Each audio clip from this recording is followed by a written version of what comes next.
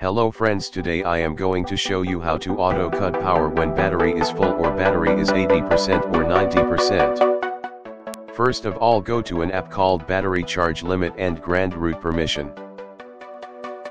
And set battery limit.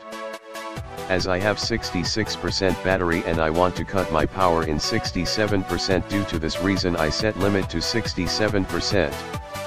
Now let's check this app is working or not. Now connect your charger and plug on.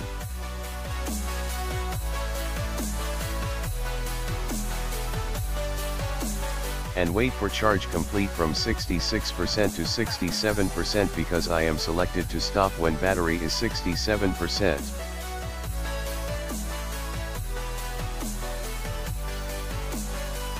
As you can see power is auto cut when battery is 67%.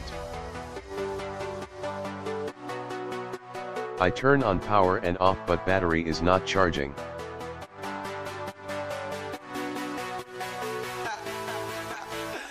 Battery is again charging start when it reduced to 66%. Overall conclusion is this app is working fine. If you like my video then please tap on like subscribe and bell icon button.